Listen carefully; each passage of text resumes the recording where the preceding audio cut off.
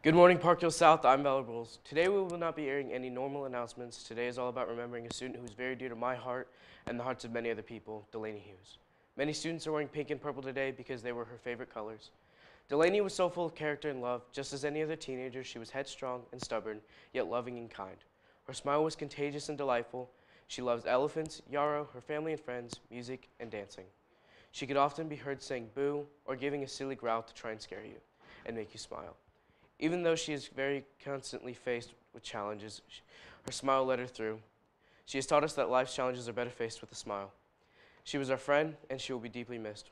I would also like to announce that there will be fundraiser tables set up at lunch next Monday and Tuesday.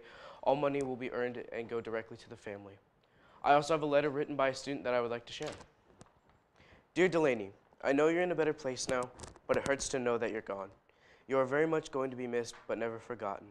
The hugs, waves, and smiles you give me will never fade away.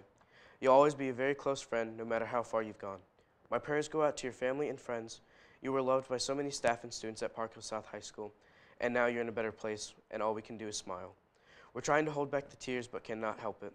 Delaney Hughes, we miss you lots and want to know all about heaven when we meet again. Your friend, Dejan Ellis. You can also stop by the counseling office to sign a poster and pick up a purple ribbon. And we leave you with a moment of silence for Delaney Hughes.